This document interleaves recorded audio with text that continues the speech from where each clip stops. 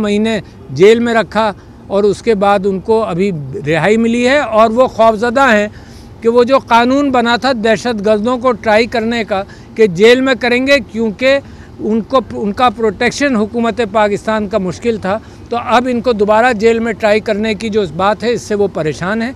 मैं मैं समझता हूँ हद हो जाती है कहीं, जिस एतबार से कि अब इस बात से निकलो ये ख़ास तौर पर ये फ़ौजी ट्रायल्स की पाकिस्तान तहरीक इंसाफ इसकी फेवर में नहीं है, दुनिया इसके फेवर में नहीं है।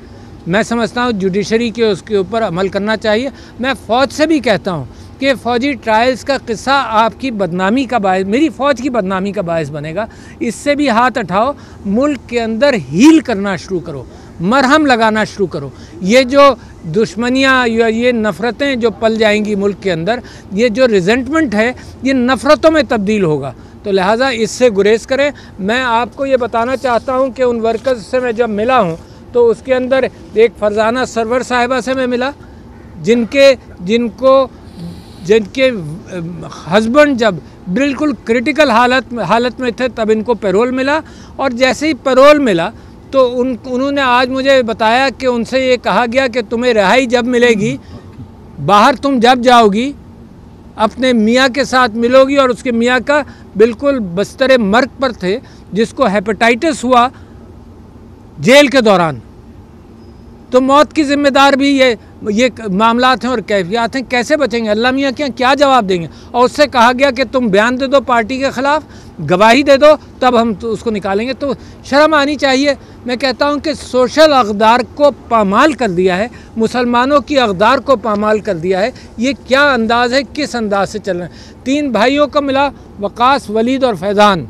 अच्छा एक इस भाई गिरफ़्तार हुआ दो भाई उसकी राही की तलाश में गए। उनको भी आठ नौ महीने के लिए गिरफ़्तार कर लिया गया।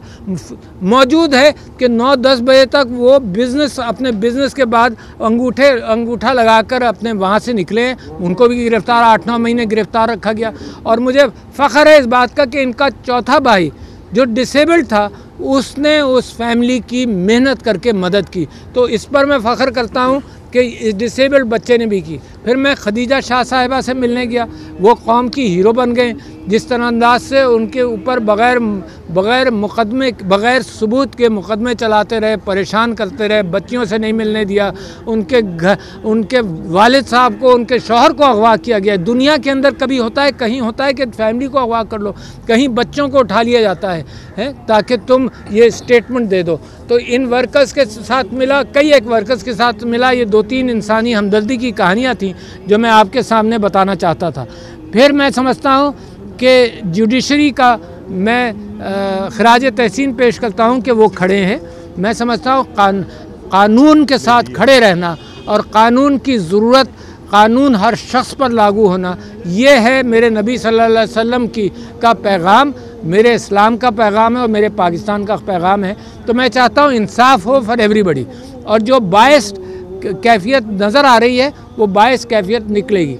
मैं जैसे आर्मी ट्रायल्स के एतबार से मैंने कहा, फ़ौज भी इस बात से पीछे हट जाए, ये गवर्नमेंट भी पीछे हटे और मैं समझता हूँ जुडिशरी भी इसमें सही फैसला करे। दूसरे, तीसरे बात, तीसरी बात ये कि जब लड़ाई लड़नी ही हो, लड़ाई ख़त्म ना हो तो एक के बाद एक आपको रीज़न मिलता जाएगा। जब भाइयों में लड़ाई होती है तो फिर यही होता है। तुमने ये कहा था तुमने ये कहा था, फिर उसने थप्पड़ मारा, फिर इसने थप्पड़ मारा, फिर उसने डंडा चलाया, फिर इसने डंडा चलाया, फिर उसने फायर किया, फिर इसने फायर किया। तो इस कैफियत से मुल्क को निकलना चाहिए।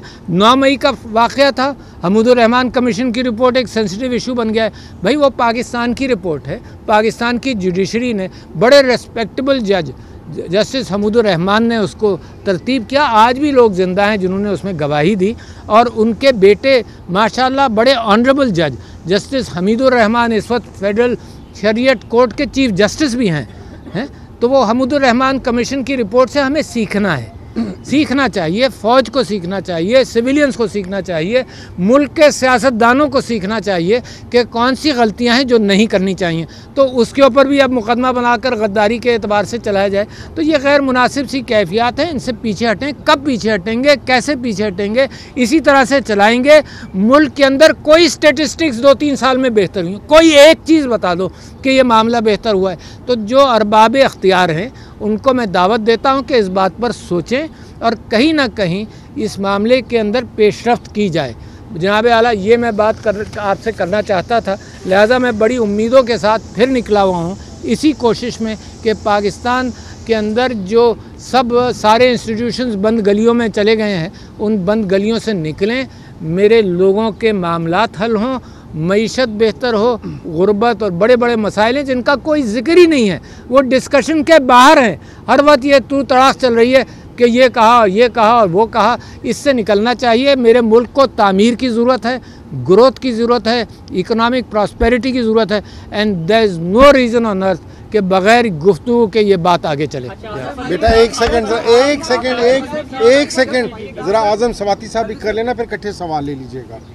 देखें, बुनियादी तौर पर पाकिस्तान की मीशत, पाकिस्तान की माशरत, इमरान ख़ान की रिहाई से मंसूब है। इसलिए कि आवाम ने आठ फरवरी को अपने वोट की हैसियत से, अपने वोट की पर्ची से इमरान ख़ान के नुमाइंदों को पार्लियामेंट के अंदर और असम्बलियों के अंदर भेजा और फार्म 47 के ज़रिए मैं उन लोगों की मजम्मत करता हूँ, मैं इलेक्शन कमीशन की मजम्मत करता हूँ कि इतनी बड़ी धांधली जिन्होंने इलेक्शन को फ्री और ट्रांसपेरेंट करना था, उन्होंने वो काम नहीं किया, लेकिन सब वो काम किया कि जिसके ज़रिए से हमारी नुमाइंदगी को रोका गया। आज भी मैं कह रहा हूँ कि मुल्क के अगर दुखड़े दूर करने हैं इन पे मरम रखना है तो इसका वाद हाल ये है कि पाकिस्तान के, बल्कि मिलत इस्लामिया के सबसे बड़े लीडर इमरान ख़ान को रिहा किया जाए, उन पर जेली मुकदमात को ख़त्म किया जाए, और कानून की हुक्मरानी, कानून की हुक्मरानी से मेरा ये मुल्क जो है आगे बढ़ेगा, इदारे मुस्तकम होंगे तो पाकिस्तान की मीशत और माशरत जो है बेहतर होगी। मैं पंजाब की इस धरती के अंदर गैरतमंदों की धरती के अंदर और ख़ास कर पंजाब की असम्बली के मेम्बरान से ये कहना चाहता हूँ कि आपने इमरान ख़ान के साथ जिस गैरत का सबूत दिया है, पूरी कौम आपको सलाम पेश करती है और इन ताला आपकी काविशों से न सिर्फ़ पंजाब आज़ाद होगा, बल्कि पूरा पाकिस्तान खुदा के फजल से आज़ाद होगा। एक चीज़ एक चीज़ मैं और कह दूँ, एक चीज़ मैं कह दूँ, मैं मैं इस बात को कहना चाहता हूँ बड़ा क्लियरली कि तीन डिमांड्स हैं, जैसे स्वाति साहब ने कही, तीन डिमांड्स हैं कि कानून की बालादस्ती, इसमें से किसी शख्स को इतराज़ नहीं होगा। कानून की बालादस्ती हो, उस एतबार से बड़ा मामला क्लियर है कि इमरान खान साहब को रहा किया जाए। और तीसरी बात यह है कि मैंडेट वापस किया जाए। ये हो नहीं सकता कि मैंडेट आप गसब करके और किसी वजह से, किसी अंदाज से और अफवाहें फिर चलाएँ, किसी अंदाज से इतनी बड़ी पार्टी को आप ताकत भी ना दें और उसके ख़िलाफ़ ये जंग करते रहें। जनाब।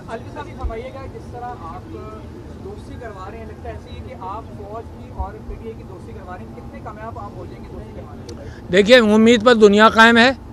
मेरी सारी ज़िंदगी उम्मीदों के साथ रही है और मैं हक और सच्चाई के अतबार से उम्मीद बांधता रहूँगा और कोशिश करता रहूँगा। और लिहाजा मुझे यकीन है कि एक ही हल है और उस हल की तरफ़ जो भटके हुए भी हैं, उनको आना पड़ेगा। ये ये मुल्क के हालात मजबूर कर रहे हैं कि हल की तरफ़ जाओ। हर एतबार से मजबूर कर रहे हैं मगर उस मजबूरी में मेरा गरीब परेशान है।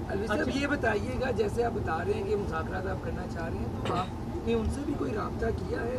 मीडिया पे आके बात तो की है लेकिन उनसे कोई रबता असल में मेरे भाई मजबूरी है मजबूरी ये है कि जब मीडिया के ज़रिए बात होगी तो बातचीत क्या होगी? ठीक है ना? जब अखबारों के ज़रिए बातचीत होगी तो बातचीत क्या होगी? फ़िलहाल ये मीडिया और अखबार के ज़रिए चल रही है। एक बात कोई कहता है, दूसरा जवाब उधर से मिलता है। जो बेचारा जेल में है, उससे कहा जाता है कि तुम दिल बड़ा करो। जिस बेचारा जो बेचारा जुल्म के अंदर है, उससे कहा जाता है, तुम माफ़ी मांग लो। तो अब आप खुद सोचिए तो लिहाजा और अब जो है आप हुकूमत वक्त के लिए कह रहे हैं नई ख्वाहिशात का इजहार कर रहे हैं। कहीं पे कुछ लगता है कि बैक स्टेप हो रहे हैं आप? नहीं? यार मैं क्या मैंने क्या कहा बैक स्टेप बताओ जरा वजाहत कर दो तो जवाब दे दूँगा। आप आईएमएफ के वाले से बात कर रहे हैं ना कि मैंने कहा कि आईएमएफ टैक्सेशन बढ़ाएगी। आईएमएफ चाहती है कि आप जो खर्च करते हैं वो लोगों से टैक्स में रिकवर कर। रहे हैं तो मैंने किसकी तारीफ़ की है इसमें? अच्छा अलवी साहब आप नेक नीति से लगे हुए हैं नेक नीति से। पहले भी लाहौर अपने मिशन पर आए थे अभी आपने क्योंकि अल्फाज की बड़ी अहमियत होती है आज़म सवाती साहब तो गैरत पंजाब की गैरत जगाने की कोशिश करें आपने एक लफ्ज़ इस्तेमाल किया है भटके हुए भटके हुए। भटके हुए। भटके हुए। ये भटके हुए कौन है? इमरान खान साहब या मौजूदा इस्टेब्लिशमेंट जिसको अच्छा तुम चाहते हो कि मुजाकरात शुरू ही ना हो कभी? साहब ये बताइएगा कि पीटीआई का एक मौकफ आया है। चीफ जस्टिस ऑफ़ पाकिस्तान के हवाले से कि उन्हें बेंच से अलग हो जाना चाहिए क्योंकि वो आ, मुतासब किस्म के फैसले दे रहे हैं। क्या आपकी भी ये राय है कि कई इश्यूज़ पर पीटीआई की राय तकसीम नज़र आती है? देखिए ये पीटीआई का हक है है ना? हर आदमी का हक है कि अगर कोई कहीं किसी कोर्ट में किसी अदालत में किसी बुज़ुर्ग के पास भी बैठकर अगर कोई मुकदमा रखेंगे तो अगर तासुब का ख्याल होगा तो वो उनसे गुजारिश करेंगे कि आप पीछे हट जाएँ आपने फ़ैसला दे दिया है। तो ये पीटीआई का हक है।